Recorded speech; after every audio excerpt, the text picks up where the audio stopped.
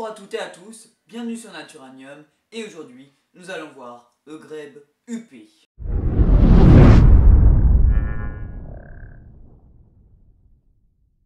Donc le grèbe UP est un oiseau aquatique de la famille des Podicipellidae.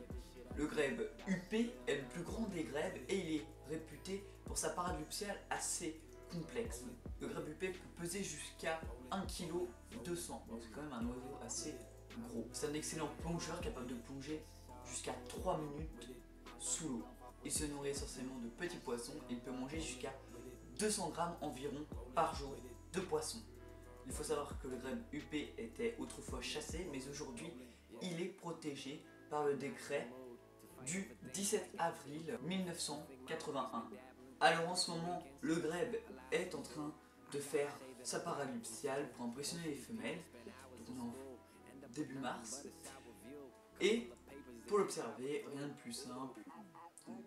On le trouve déjà dans les eaux peu profondes, donc marais, étangs, rivières, mais alors très calmes.